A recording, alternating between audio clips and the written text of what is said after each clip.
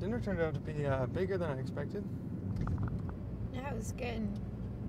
She just did really good. That pudding was something else. Yeah, it was.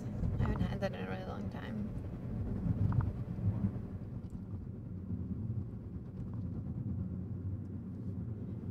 Hey, the wine that you bought.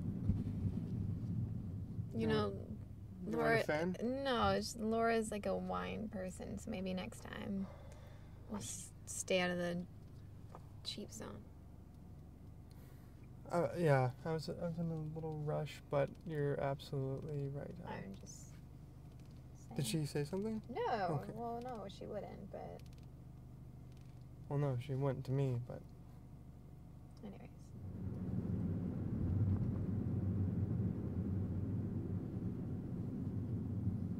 listening listening to you guys uh, talk over dinner. I mean, I've said it a bunch of times, but I think it's awesome how well you two get along. Yeah, no, she's really cool.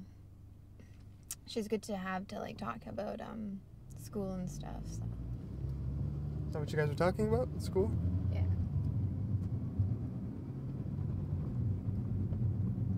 Just just school? Sorry. Did you guys talk about anything else, or No, Like- just like just general conversation about school. okay? um,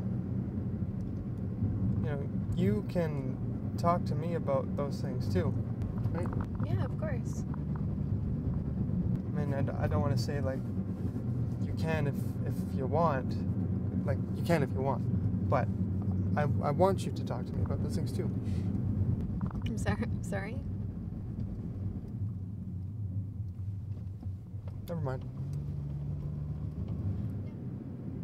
No, I was just just kind of surprised. Just Seems like a just seems like a bit of a reversal. So.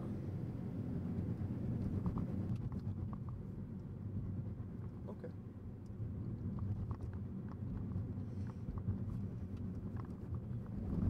Hey, maybe we should um start to pack up our camping stuff.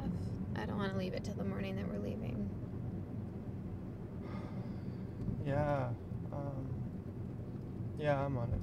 Thanks. Not Thank a you. problem.